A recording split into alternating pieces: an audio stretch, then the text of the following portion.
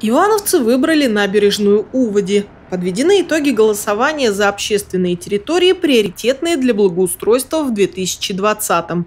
В голосовании приняли участие 2209 человек. У горожан была возможность выбрать одну или несколько территорий. В результате рейтингового подсчета всего за объекты, предложенные к благоустройству, было подано 2694 голоса.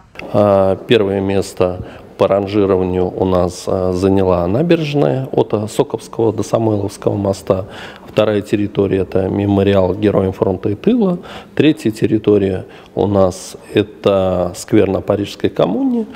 Четвертая территория – Веденский сквер. И пятое место у нас заняла территория сквер интернационалистов.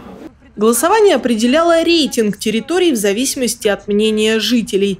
Пока объем финансирования программы на будущий год не определен, неизвестно и сколько объектов будут благоустроены. Как неизвестно, попадет ли в программу лидер голосования «Набережные Уводи». Трудность в том, что нужны работы по берегоукреплению. Это долго согласовывать и дороже обычного благоустройства. Ориентировочно предстоящие работы на этом участке набережной оценивают в 100 миллионов рублей. Процедура жесткая, мы ее должны пройти. Если жители заявили эту территорию, мы обязаны были ее рассмотреть. Мы рассмотрели, приоритеты расставили.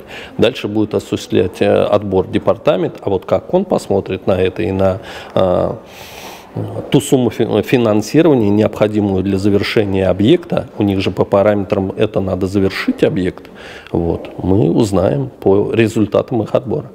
По результатам голосования составили протокол, который направят в Департамент строительства и архитектуры для утверждения и принятия решения о финансировании. В ближайшее время мэрия приступит к разработке проектной документации по благоустройству трех территорий лидеров голосования.